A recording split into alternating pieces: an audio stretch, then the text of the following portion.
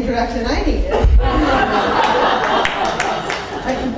someday Felicia is going to win a Nobel Prize, and then maybe you'll know that I also encouraged her to write, but you guys will know the real story. um, the last third of the show is called Is Queer for the Young.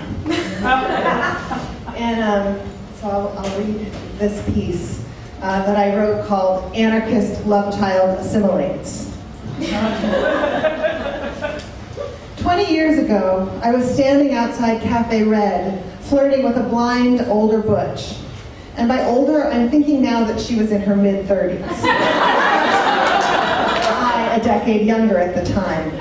I couldn't quite imagine how someone who couldn't see me would be attracted to me.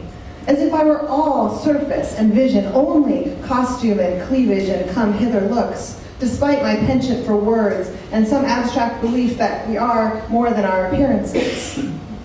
I wanted something from the blind butch besides her attention anyway. I wanted to know, where are the older femmes? I wanted a peek into my own future, one I couldn't find on television or in movies really, or even in many books. Who would I, could I become? The older femmes weren't in the clubs. Every once in a while you'd spot one in a vintage dress with out-of-style shoes on, glorying in a night out. But mostly they stayed away. Where had they gone? The blind butch snorted. Home watching videos, she said. They're all home watching videos. I remember asking Michelle Tea about growing up a few years later. I just moved to New York with my then girlfriend, mostly because my previous girlfriend had once moved to New York for me, disastrously, and it seemed like karma that I was being asked to do the same. I became unmoored. I'd wake up in the night with the hollow feeling I'd stepped off my life path. Interviewing Michelle Tea for the Lambda Literary Review, I asked her about growing up. Did she think or worry about it or, or wonder what it would look like? We were both about 29. She said something like, I have a 19 year old girlfriend, I don't think I'll ever have to grow up. now she's written at least two books about growing up and the apocalypse. Most of my ideas about adult life came not from my parents, who neither mastered nor modeled maturity, marriage, stability, or home life. As a child, I had fantasies of being Laura Ingalls Wilder's mother, capable, quick hands making food, clothes, turning a half underground sod house into a white walled home. Though admittedly, in these imaginings, my best friend always lived right next door to me with her vaguely sketched in husband, she and I raising our children together. My point is, at the breakfast and dinner tables of my Berkeley childhood, we talked about gender change and neutral pronouns, about feminism and civil rights, nuclear war and economic justice, the family history of the witch hunts of McCarthyism and the horrors of the Holocaust. But few in my family got married, certainly not for keeps.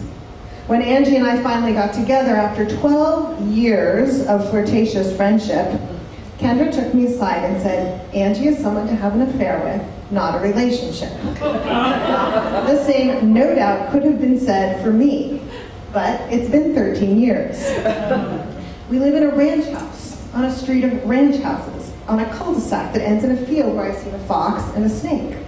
You can't be pushy or aggressive while you're driving in this small town because you'll peer through the reflection of the window glass and realize it's your neighbor or the head of school or the person who bags groceries at the store, all of whom you know.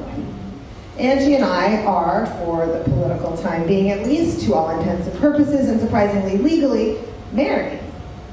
We're not watching videos exactly, but we do stream shows. We have two kids and a dog. We had two guinea pigs, but the dog killed them. Suburbia has its dark side, I'm not the first to say it. but we also have cherry trees, peach trees, an apple and a plum in our backyard. They bloom like the girls peeling out of the clubs for fresh air and a cigarette. Being 20 something and queer in San Francisco in the 90s felt like being famous. We'd try on a thousand dresses, swapping outfits and raising the stakes until we burst into the night together, parading toward the roving club, performing and watched. It felt like that, visible and shimmering, a joint project of creating ourselves, a collaboration with the world. We were in love with something that wasn't supposed to exist. Unicorns everywhere. Mm-hmm. That kind of visibility is the opposite of being a suburban mom. It's not so much that I'm invisible now, as that I'm not performing. I'm not checking to see if I'm reflected back and how in other people's eyes. I no longer wonder how someone will relate to me if they can't see the dress I wore or the way I wore it. But I also move through the world with secret knowledge. What I learned about my body in the 90s in queer San Francisco helped me give birth, for example. And what I learned about gender has been a keystone to parenting two human beings in the face of the constant painful limitations put on them by outside notions of gender, and also to help their queer transgender friends and their friends' parents who are, you know, the, elementary school is full of queer trans people. It's the other place where gender is getting played out. What I learned about human need and human desire, about the distance one can shove or erase between them, turned me into a writer.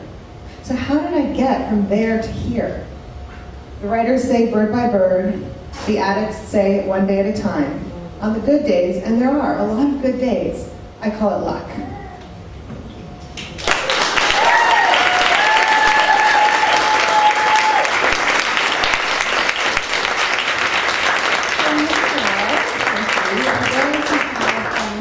Video.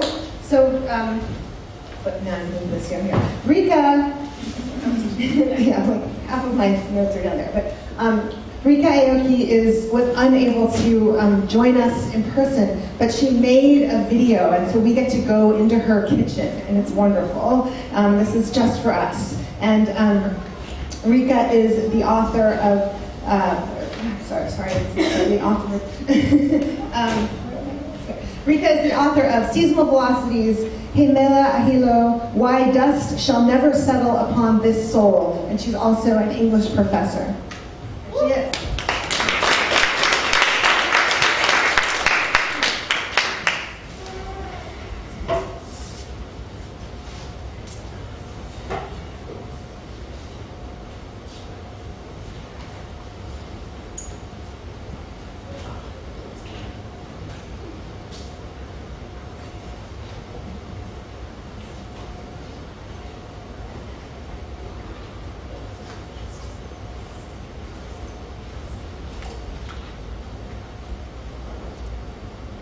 Everyone, how are you doing?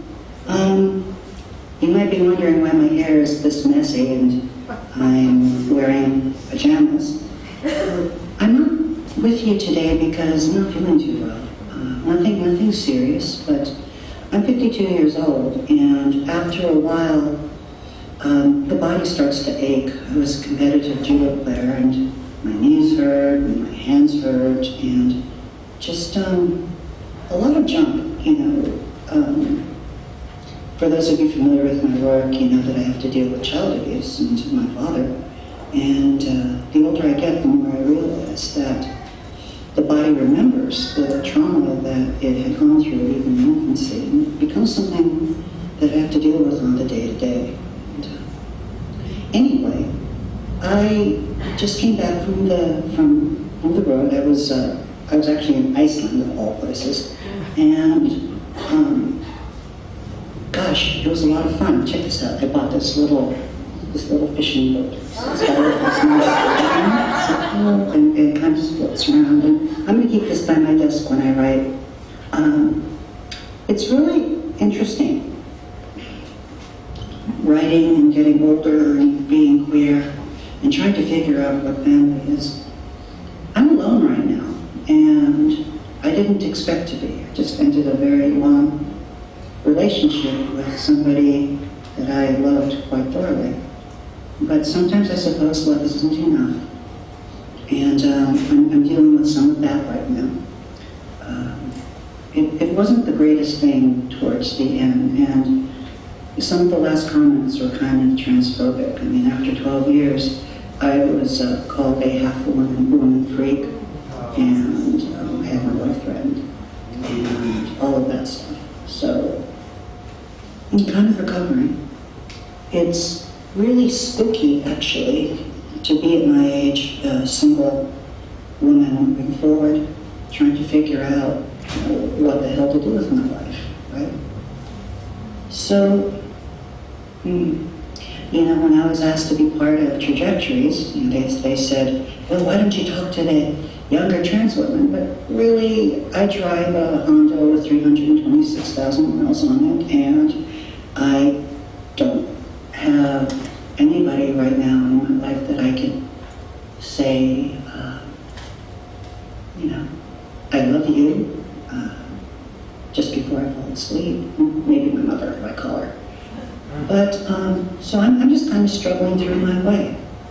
But I wanted to do this because so much of trans is not, I shouldn't say it's not correct, but it's, it's, it's a show. We're, we're used to, we're used to um, having to put on a performance to be either accepted as, as human or as, um, or as female. Um, and I've just found out that most performances end, and that there's a time to be off stage, and that that could be 12 years long, and it can leave you with this feeling that you're completely alone.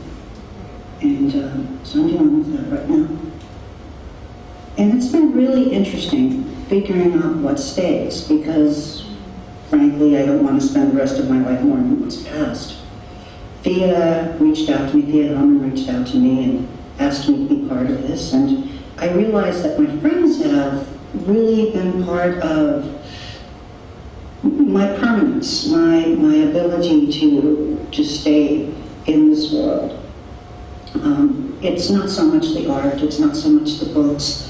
What it really is is feeling that I'm part of a tapestry, that I'm part of a, a group of people that love each other and are greater themselves. Maybe not romantic love, maybe maybe I won't have that in my life, I don't know. But um, there's a sense of belonging. Yeah. This, this is my grandma. And um, I miss her very much. I kind of burn incense for her every night. And Gosh, this is so unscripted, but check this out, check this out.